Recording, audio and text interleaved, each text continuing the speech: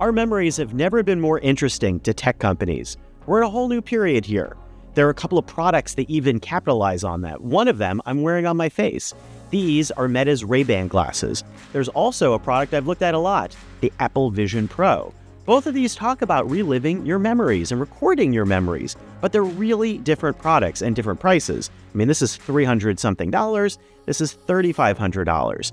Which one do you get if you want to capture and relive your memories? Well, maybe one or the other, but also why not both? Let me talk to you about what they do and why the future of immersive memories might involve the fusion of both forms. So, we've talked about Apple Vision Pro a lot. In case you haven't been following, let me catch you up. Apple's headset, which is a like a mixed reality VR computer, uh, has the ability to play back 3D videos that you can record on your iPhone 15 Pro or on this device itself if you're brave enough. I don't want to record my kid's birthday party and the headset. I'm going to be using a phone for that.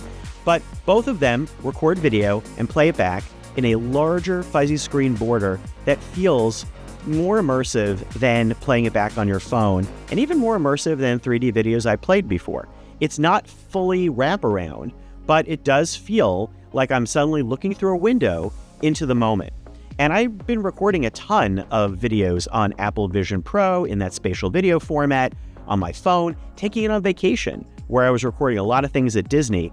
Bringing out my phone is not my favorite thing to do. And on Apple's format, you have to hold your phone in landscape mode. A lot of people want to shoot photos and videos quickly in vertical. Can't do that. So you really have to kind of frame it up and then you're walking around like this. If you put up with that, playing it back later, those memories are pretty fantastic.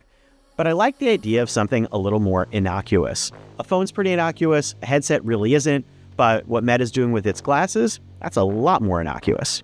Meta's Ray-Ban glasses, which came out last year, are on my face right now. You probably don't even notice them. They're Ray-Ban Wayfarers, they look really normal, and they even have my prescription. So outfitted with that, they are my everyday glasses, which is pretty fantastic, and I like the way they look.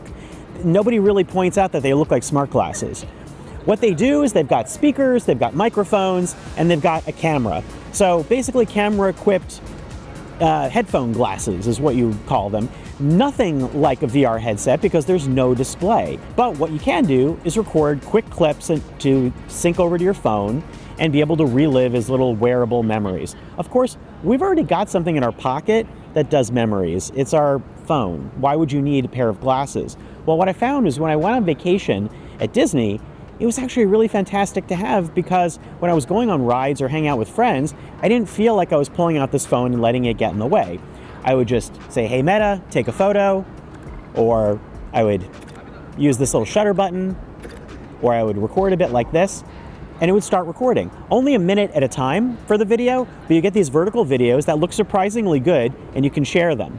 The video quality doesn't look as good as my phone, but I used it on things like Tron Light Cycle Run, and it was fantastic. And it was great to actually wear it on the ride when I certainly would not be taking out my phone. The one thing though, is that the battery life is really short. It's about a couple of hours at best, and I found that when I was using them to take photos and video, I had to recharge by about noon, and then I had to recharge again in late afternoon, which means that if I'm taking these glasses off to recharge the battery with this case, well then I don't have glasses. So now I've got to get a spare pair of glasses. I did bring a spare pair of glasses, which I swapped into, traded these out at the locker, and that was pretty frustrating.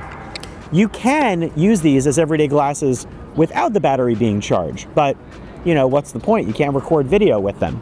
Also, the video plays back in a vertical format, which is great for sharing on Instagram or online, and it's fine for looking at on your phone. But when you look at it on a VR headset like Apple Vision Pro, the formatting doesn't feel ideal for how you're looking at it on your face. I really preferred looking at something like spatial video, which was shot in landscape format for that immersive memory experience. But the audio on this is good. Like when I record audio and I can play it back, I hear it in the glasses like it's spatial or, you know, when you're playing back with headphones. And the audio feels fine if you're playing back for music and messages if you're just using this as a pair of glasses that can also be your headphones. But they're not the same thing as AR and VR. At some point they might be. And I would love if these had some sort of 3D spatial video recording in them, you know, recording through both lenses as opposed to just one. Maybe that'll come next. So after recording a lot of videos in Meta's Ray-Ban glasses and a bunch of videos in Apple's Spatial Video, and then playing them back both on my phone and in Apple's Apple Vision Pro VR headset, it gave me the feeling that my memories are kind of being split in two different directions. I mean, they are coming together in one photo library, but I've got these quick videos, which are really easy to record on the glasses, which I don't have to feel distracted by looking at my phone, and I feel like I'm really there. Playing them back, it, on a phone, it looks great in vertical video format. On the headset, it looks a little like I'm just playing back a video. Whereas when I'm recording stuff on my phone, yes, it's annoying to hold up the phone, but when I play it back, it does make me feel a little more like I'm there with spatial video. So which one do you get? I mean, they're really different propositions, and you technically could afford both. I mean, the Apple Vision Pro is really expensive at $3,500. These glasses at a couple of hundred dollars are not too expensive, although you may have to outfit them with prescription lenses like I did, which costs a bit more. But these are a different type of product. These are meant to be worn a lot and used pretty frequently, uh, worn like your everyday glasses. And then they beam those images and photos and videos back to your phone, back to the device, which I then look at later. So that's a difference for me. This is an outside product. Vision Pro is an inside wear later product. I really love recording videos in these, even though the battery runs out quickly and maybe people find that a little bit weird that I'm recording video in my glasses. I found that it's pretty laid back, and that's something that VR headsets are definitely not. They're not as laid back. So I want to live my life in these, and I want to replay my life in something like this. Anyway, that's my vision of the future. Thanks for watching, and if you have extra comments or thoughts, make sure to put them below, and thanks for watching.